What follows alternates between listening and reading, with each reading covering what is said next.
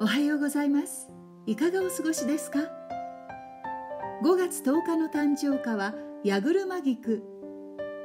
ヤグルマギクはヨーロッパ小アジア原産のキク科セントーレア属の一年草です。山間部などに自生している雪の下科のヤグルマ草と間違えられることがありますが別の種類です。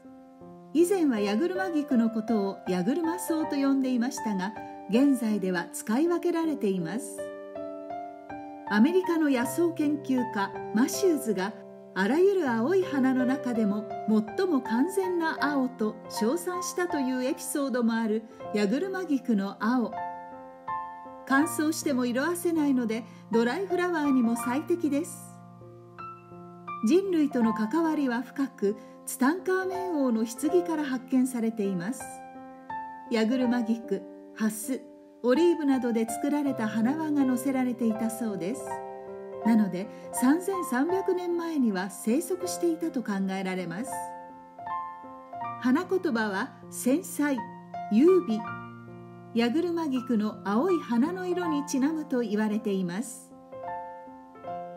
今日お誕生日のあなたおめでとうございます。今日も素敵な一日でありますように。